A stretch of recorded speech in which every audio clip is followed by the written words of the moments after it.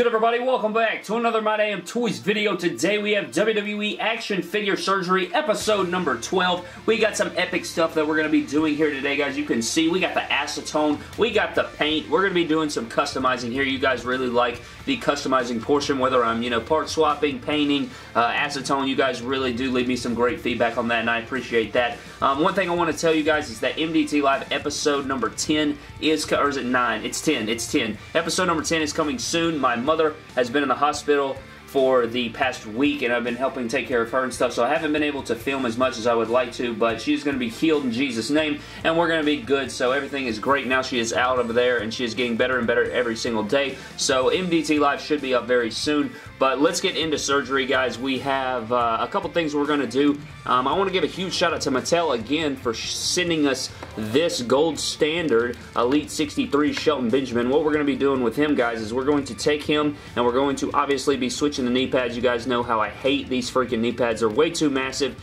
and they hinder the piss out of the articulation. So what we're going to be doing is taking Mizdows right here, taking the kick pads off of both of these guys and switching that over. I was going to use these, the Seth Rollins cash-in ones, but this gold is not the same as the gold um, on the, the Shelton right here. You guys can see it's more of a yellowish, you know, brighter gold, and this is more of a dull gold, so I think it would have looked stupid in my opinion. Um, this more matches the regular, not the Chase variant. Obviously, this is the Chase variant. This matches the regular Elite 63 Shelton Benjamin, so I think that's why it works better for that figure. So I'm not going to do the cash-in ones. We're going to use the ones from Mizdow. And then uh, another switch that we're going to be doing is putting this head scan, the long-haired Triple H. I love this head scan. Absolutely one of the best Triple H head scans. He looks so bad A like that. We're going to be popping this head scan onto this Toys R Us WrestleMania Triple H. I think that's what this is, or maybe it's just that Triple H Toys R Us exclusive. But anyways, um, somebody hit me up in my DM. I can't remember who it was, but they said they recommended doing a black wrist tape long-haired Triple H. So huge shout out to whoever that was. I so am sorry for not shouting out your name because I cannot remember who it was. I even went back in my DMs and tried to find you, but I could not. But huge shout out to that guy.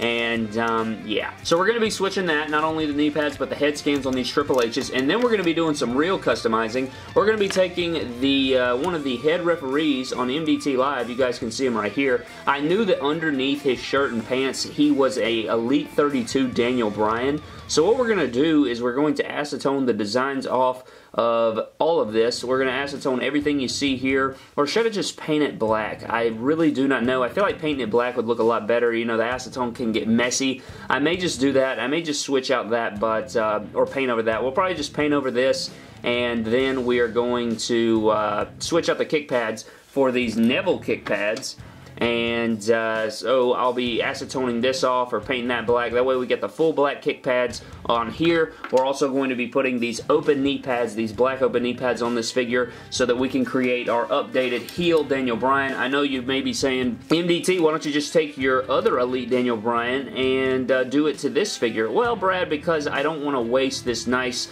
Team Hell No Daniel Bryan Elite, I'm going to leave this like it is, and then I'm going to pop my extra heel Daniel Bryan head scan over here, do all that ish we said we are going to do, throw the WWE Championship on there, and he will be an updated heel Daniel Bryan that will look absolutely beautiful. So that's what we're going to be doing today, guys. I guess we can start off with the kick pads of Shelton since it's the uh, smallest thing, and then we'll do the head scan of Triple H, and then we'll get into the customization of Daniel Bryan. Alright guys, I'm kind of insane, but I'm going to literally see if I can heat up every single thing. Like, I'm going to see if we can heat up every single thing besides the lower legs on this Daniel Bryan or this referee from MDT Live. What we're going to do is heat up Mizdow, Shelton, the Neville kick pads, and the Triple H hits and see if I can do it all in one take. I highly doubt it, but we're going to see what happens anyway. I got my white hair dryer right here. We're going to get going, and we're going to see how this works out. So let's just go ahead and give it a go.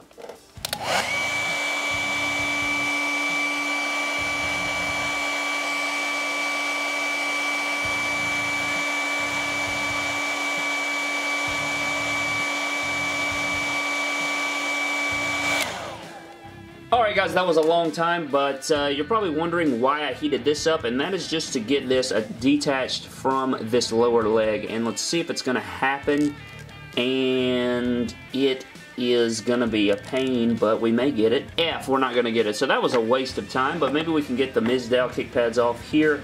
Uh, you guys remember I did mention this in an older video that the kick pads like this are the hardest to get off and I struggled with it in the past. Okay, so that one came off not as hard as it usually is. Again, I guess I've gotten a little bit better at that, but um, used to be back in the day, guys, I would literally cuss my figures out. Like I'd be in the kitchen trying to do this with water. I guess I'm just better with the hairdryer overall. But I would be in there just literally cursing by myself like a loser at my figures because they couldn't, like I could not do it. But uh, you see that practice makes perfect. So we got the Mizdow. Mizdow's all good. We'll put him over for other parts later on. Um, Triple should be really, really, really easy here. Um, so his head scan's off. We'll toss that away. We'll, we'll uh, plug in the other head scan. And we'll go ahead and put him over here with Daniel Bryan for later. And then the other thing that we got to do is Shelton. So we'll just pop the lower leg off here. Son of a Christ. So we got Shelton's one kick pad off. Let's see if we can get the other one. Yeah, that other one was not under the hair dryer. That's unfortunate as crap. So we have the left knee pad. I guess we can go ahead and slide off this larger one and then plug in the other one that we're going to use. And um, I guess what we're going to have to do is go ahead and heat up um, the Shelton kick pad again. And I guess we can go ahead and while we're at it and heat up the, uh, the, the, Daniel Bryan and the Neville and see if we can get that switch done while it's uh, while we're while we're doing Shelton at the same time. So let's go ahead and do that. All right, guys, round number two. Let's hit it.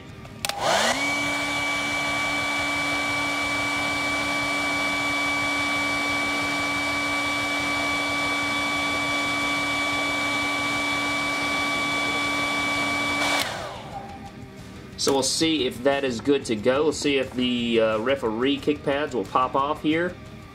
Christ on a cycle. I told you they were tough to do. Let's go ahead and do Shelton. God almighty. Alright, so we got Shelton's. We'll go ahead and slide this knee pad off, if it will. I think it freaking, like, melted into the freaking leg of Shelton Benjamin. Alright, so we got that out. Uh, where's our other knee pad? We'll get that. We'll plug this in here. And Shelton will be done. He can join Triple H after we pop his kick pads back on. I'm pretty sure I'll have to reheat up the other one. I should have left it on, over here. I don't know why I didn't, but maybe it'll go on here. I doubt it, but we'll see. Freaking stupid idiot moron. Jesus! So Shelton Benjamin, we're going to have to heat that kick pad back up. That's unfortunate. Um, but right here with Neville, let's see if we can get this detached. We did get that detached, so that's good. But back here at Daniel Bryan, or MDT Live Referee, all right, we got that one. See if we can get this one. Alright, we got it. So now if we can plug in these knee pads real quick, I gotta figure out which one's left and which one's right. Alright, this one's the right one, so slide this over this. We gotta hurry because we're trying to make sure those Neville kick pads, you know, don't get uh, too cool. Then they won't plug in. Alright, so we got the one knee pad. Now going over to the other side. Alright guys, we got the second one. Now let's see if they'll plug into these legs. Got the one leg, got the other leg. So bam, there we go. So we do have the Daniel Bryan. The lower half of the Daniel Bryan is complete besides the acetone or the painting of the black. So now all we have to do is pop off this head scan and also uh, go ahead and heat this up so we can reattach it to Shelton. So what we're going to do is heat up this head and that kick pad. That way we can flip flap them and we got to add this head scan. The Daniel Bryan head scan needs to be heated up as well. That way, you know, we can pop it on there already. And then it'll be time to do our acetoning slash painting. Alright guys, on to the hair dryer. Let's hit it.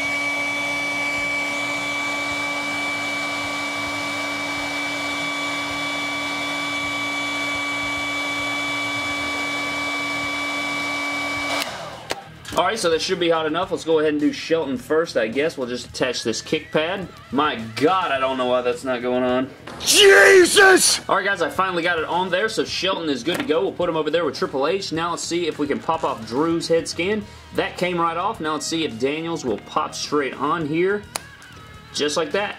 And now all we have to do is do our little customization that we're going to be doing. Again, um, all we're going to be doing is uh, either, I'm, I'm really stuck. Do I need to acetone everything or should I just paint everything? I feel like acetoning would be better but I don't uh, just so you don't have to worry about paint chipping or you know that like you don't want like the logos to go through and you don't want the purple to shine through I'm just gonna acetone it and just screw it hopefully I don't screw anything up but uh, let's go ahead and get started on our acetone. Alright guys, you guys know how we do. Equate Nail Polish Remover, 100% acetone as you see it there on the screen. I think it's like 98 cents at Walmart. Please ask your parents before using it or purchasing it, please. Thank you so much. So what I do is I unscrew the top like you see here, and all I do, I do this, I swear to God I've done this so many times on video, but I'll go ahead and show you guys anyway. I pour a little bit into the top there, and I just sit it down, and then I get my Q-tips like so, and um, I used to just do it with a towel, but it's harder to do with a towel on camera, and it gets real messy and stuff, so I've switched over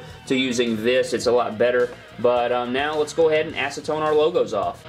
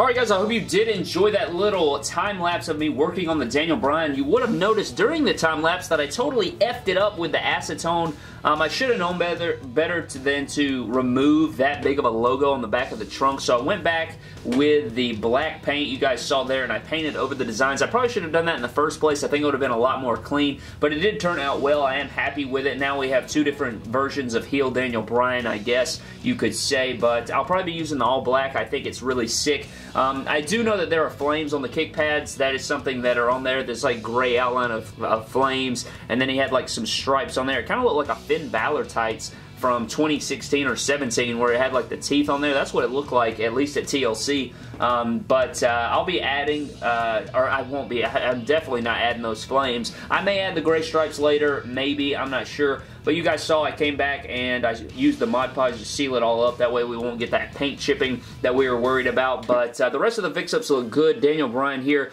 you guys can see there's both versions there. I think the black did turn out nice and the open knee pads and everything. So I will be going forward with that heel Daniel Bryan in all my videos. Um, then again, we do have our black tape long hair Triple H. You guys can see that head scan so deadly. One of my favorite Mattel head scans ever, I think. It just looks so dirty. I love the way that looks. Just a menacing AF Triple H. Um, I'd like to sculpt a long beard onto one of these head scans. I think it would make him even look more, you know, evil or something like that. I actually need to touch up the paint on these hands too. I'll probably do that in a later video or I'll do it right off camera.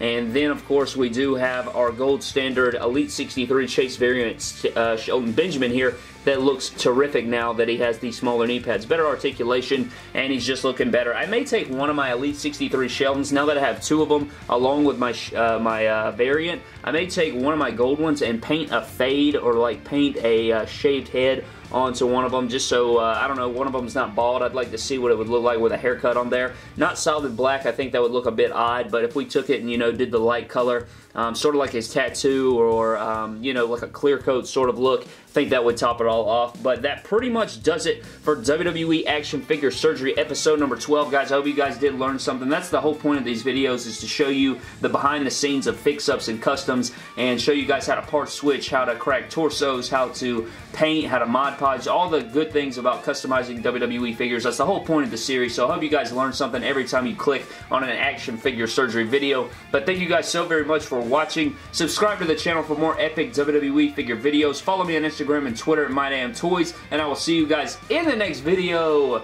Thank you.